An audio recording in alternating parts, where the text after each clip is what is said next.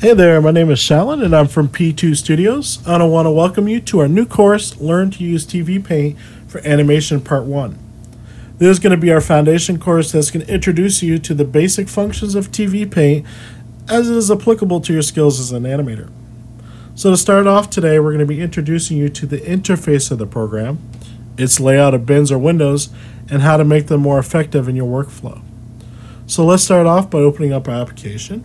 As you can see, I already have mine open, but this can be accomplished by going to the Start menu and you can select either TVPaint Animation Pro or TVPaint Animation. And this depends upon what version you have. When you open the program, you'll notice that there's a splash screen. This is an informational screen telling you what program you're running and what version you currently have.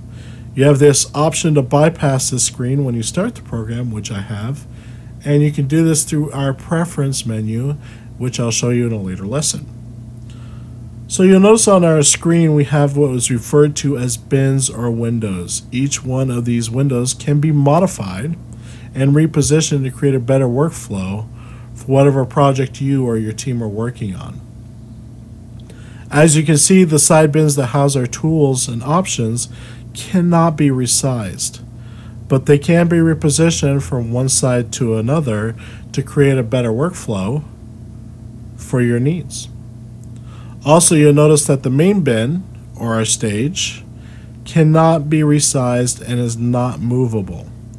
Everything revolves around this window.